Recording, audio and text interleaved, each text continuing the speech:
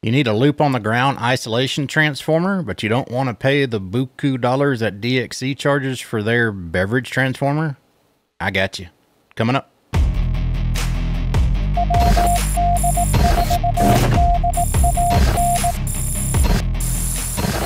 Let's run through the parts list really quick of what you're going to need to build this isolation transformer for your loop on ground antenna. Obviously, you're going to need some kind of project box, a little enclosure box. I think we can get everything to fit in here. We're to try. Might take a little bit of ingenuity, but we'll do it. You're to need a way to connect your loop on ground antenna to your box. And I'm just running bolts with little wing nuts on the top of them. We'll drill some holes in this box to attach those. Uh, small little ring terminals, which are to go on the inside of the project box to your wing nuts or bolts or whatever other mechanism you decide to hook your antenna up with.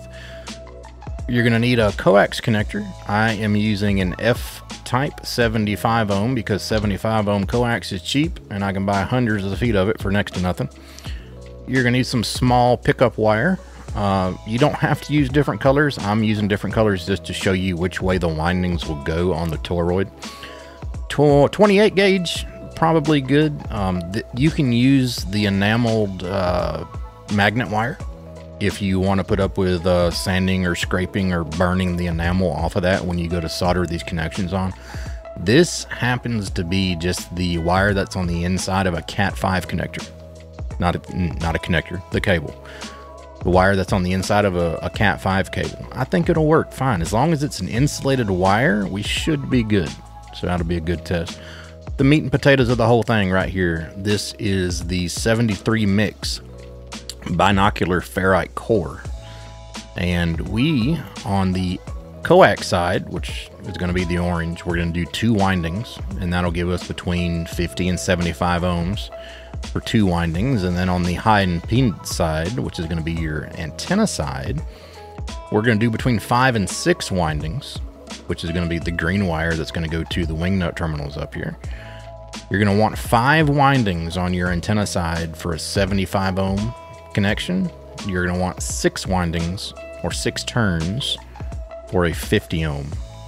So we're going to do five windings. So this is going to end up end up being a two turn on the orange and a five turn on the green through this binocular core 73 mix ferrite. Links to everything in the description below where you can pick them up yourself. I guess the first thing we need to do is drill some holes in this box to see if we can fit all of this stuff. I'm thinking maybe the F connector on the side and the two wing nuts, maybe caddy corner, because it's kind of a small box. You really can't put them side by side. So maybe caddy corner on the wing nuts. Drill some holes and see what we can do.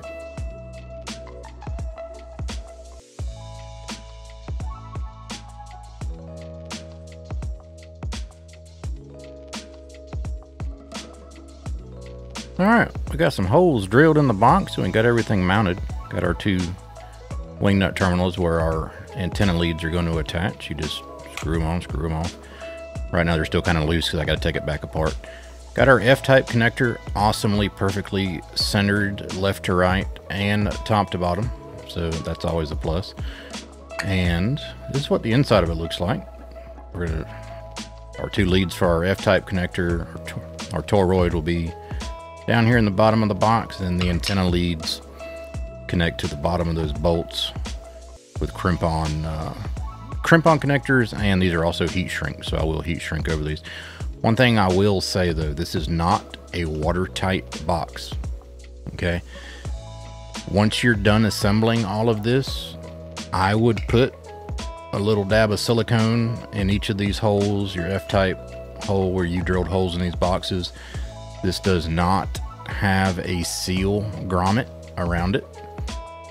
I would do a little dab of silicone just so when you put this thing back together, uh, you won't get water in it and stuff like that. But uh, we are ready to go ahead and wrap the toroid. Let's get started on that. All right, wrapping the Mix 73 binocular core toroid on the coax side, like I said, we're going to want two turns for a 50 to 75 ohm match on the coax side. So we're going to do two turns of the orange. And what we're going to do here is we're just going to come up and down the other side of the core. So that's one turn. Make sure you don't have any twists in there. So that's one turn through the center of the core. And you're gonna do one more. Up.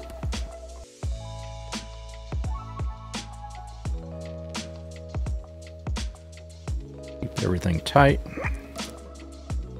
And back down. So that's gonna be your two turns for the coax side. That's to be your two turns for the coax side. Now I'm going to go ahead and cut these just to a little bit of length just to get them out of my way here. I'm going to give myself about four inches. I don't need that much, but I'd rather have a little bit too much right now than not enough. So we got two turns on the coax side. Now let's go ahead and do the antenna side or the high impedance winding.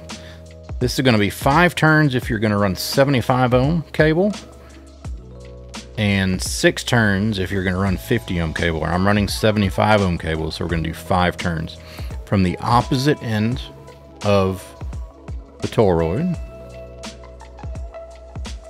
We're going to go up, give us some room here on the bottom, give us about a four inch, four or five inches on the bottom here, and back down.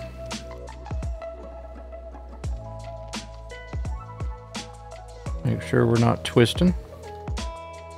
That is number one. Up. Down. You keeping everything nice and tight? That's number two. Up. I know, this is really boring. But, gotta do it. Back down. This is gonna be number three. You see now why you need some pretty small gauge wire. There's not enough, there's not that much room in this binocular core here. So we got, we have three.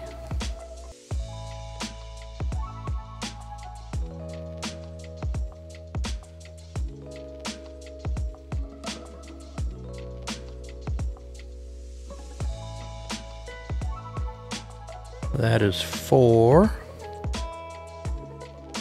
Keeping everything nice and snug and tight. And we need one more for 75 ohm. We're doing five wraps here. You know, I would say if you're doing uh, six wraps, this wire might be a little bit too thick actually. I think I can, hopefully. Yay. I'd be hard pressed to get six of this type of wire in here.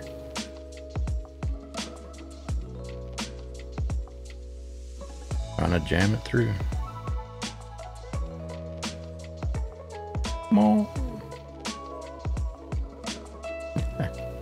One more wrap is all we need just to go down. There we are. And that's five. Make sure they're nice and nice and tight. And uh, we'll trim these off to uh, about four inches as well. So what we have so far, we have the orange, which is going to be our coax side going to our feed line. And that is two windings. Two windings on the orange, or two turns on the orange. The green is the high impedance side, which is going to go to our wing nut terminals on top of our box that either side of our loop is going to connect to. There's five turns on that side for 75 ohm. If you're doing a 50 ohm, you'll want one more turn on the green. But there we have it. Let's get the ends stripped to length and get this mounted into the project box. I'm thinking mount it uh, just some double-sided tape or something. I just want to stick it down right there so it doesn't move. Maybe right there in the middle somewhere. And then uh, we can get things soldered up. So let's go ahead and cut these a little bit to length here. This is my antenna side. One of these wires is going to go to the center conductor of your antenna. The other one's going to go to the ground. It does not matter which one. So we're just going to cut these roughly to length pretty pliable wire so you can bend it around. So I'm to give myself there and there. I'm to leave these long on purpose. That way we can take the top of the box off later. I'm to get these stripped off and I got to grab some double-sided mounting tape and I'll do that. I'll be right back with that. All right, had to go over there because my cord on my soldering iron won't fit all the way. Which way am I on the camera? All right, I got them soldered up. My got one side going to the ground side of my F-type connector. The other side going to the center lead of my F-type connector, and those are soldered on. And we are ready to attach the antenna side of our transformer to the little ring terminals that's that are going to go onto um, the wing nuts that I have. So I'm to get these stripped off in there, crimped, and I'm going to heat shrink these. Be right back. Here we are. Got the ring. Ooh, they're still kind of warm. Got the ring terminals uh, crimped on and heat shrinked, and these are going to go to the underside of our lid here where we have the bolts for our wing nuts. So, figure out what order we want here. We probably want the flat side of that. And then a washer so we don't break it through. Then the bolt and a washer and a bolt. Excuse me, a nut. And then our wing nut will go on top of that. So that is one. One done. Get you right there so I can still close the, the lid here. And I'll tighten these nuts up really well once I uh, once I get them in here. The bolt, washer,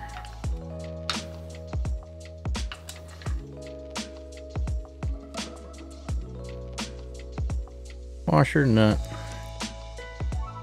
and then I'll come back and I'll tighten these up really good. But that's essentially what we're looking at everything's connected and then hopefully I can still close this thing. There we have it. This box comes with two screws. Like I said this box is not in any means water resistant or waterproof so you are going to want to put some silicone around all the holes you drilled silicone around the edges so you can keep it like that. I'm going to tighten up these nuts right here and then uh, I'm going to go test this thing and I'll let you know how it works. Well, there you have it. We built the loop on the ground beverage, not a beverage, the loop on the ground isolation transformer that's needed if you run a loop on the ground antenna. You could also use this for a beverage. You just have to have a add a terminating resistor to it. But links in the description below to everything that I used, and also links in the description below to a couple of resources where you can read up on this, where I got my information from. Wealth of knowledge out there on the interwebs. I appreciate you coming along for the ride. Hopefully, I saved you a couple dollars from uh, buying this commercially made from whatever vendor commercially makes them. Not going to call anybody out. We're all friends here. Till next time, guys, give me a thumbs up, give me a like, hit the subscribe button and notification bell. It really helps out everything here on YouTube with the algorithm. Have a great time, guys. See ya.